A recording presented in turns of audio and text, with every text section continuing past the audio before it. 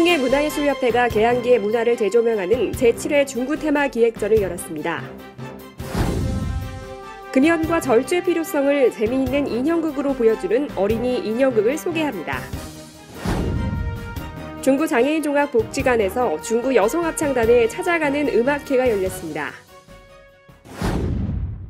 개항기의 건축 양식이 그대로 남아있는 이곳 개항장 거리는 중구의 역사적 상징이라고 할 수 있는데요.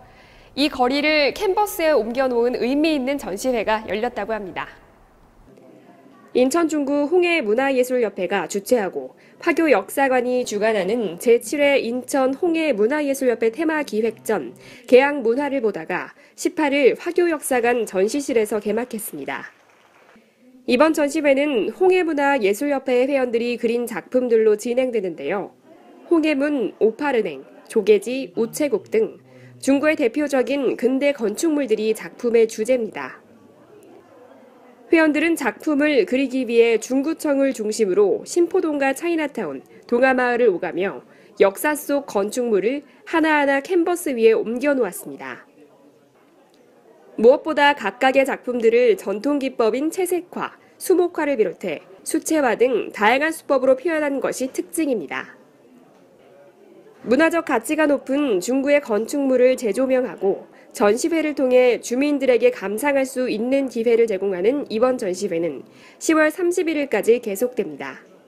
인천 중구 뉴스 민진아입니다. 금연과 절주, 어른들이나 청소년에게 국한된 내용이라고 여겨왔다면 이제는 아닙니다. 미취학 아동들을 대상으로 맞춤형 금연 절주 교육이 한창인데요. 그 현장으로 함께 가보시죠. 중구 문화회관에서 금연과 절주에 관한 인형극 공연이 열렸습니다. 흡연 시도 연령이 점차 낮아지고 청소년기 흡연은 성인으로 이어지기 십상인데요. 조기 교육을 통해 최초 흡연 시도를 차단하고 음주의 관대한 문화를 바꾸기 위해 마련된 이번 공연은 중구 관내 25개 어린이집과 유치원화 1,700여 명을 대상으로 진행됐습니다. 시내 지역은 중구 문화회관에서, 영종 지역은 하늘문화센터에서 각각 진행됐는데요. 공연 제목은 백설공주와 심술마녀, 어린이 눈높이에 맞춘 친근한 캐릭터 인형으로 자연스럽게 흡연 및 음주의 폐해성에 대해 알리고 어린이들 스스로 금연 및 절주를 다짐하는 시간을 가질 수 있도록 했습니다. 얘들아! 너희들은 절대로 어른이 되어서 무서운 담배를 피우지 않아야 한다. 알았지? 중구보건소 관계자는 어린이들에게 생소할 수 있는 내용을 어린이 눈높이에 맞춰 쉽고 재미있게 교육함으로써 흡연과 음주의 해로움에 대한 비판력을 길러주는 것은 물론 가족과 주변 이웃에게 전파하는 등 올바른 정체성 확립에 기여할 수 있을 것이라고 말했습니다. 인천 중구 뉴스 민진아입니다.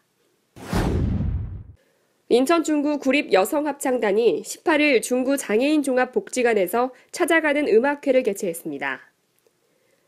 이번 음악회는 평소 문화예술 공연을 접하기 힘든 장애인들에게 문화 향유의 기회를 제공하기 위해 마련됐는데요.